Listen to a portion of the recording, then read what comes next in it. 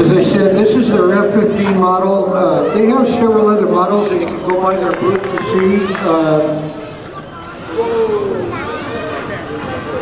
They offer uh, the F-15 and F-18 and SR-71, a MiG-29. They have a Eurofighter Typhoon, Su-30MK, an F-16, and a Saab Drake. You can stop by and see these and ask questions and, uh, and buy these products at booth 405 out on the show floor.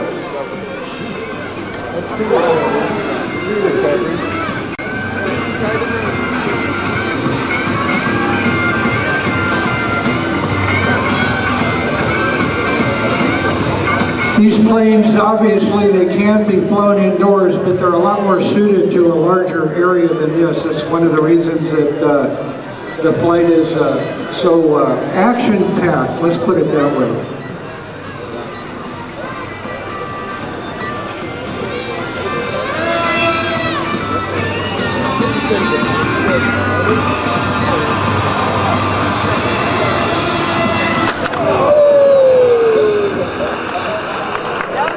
Landing.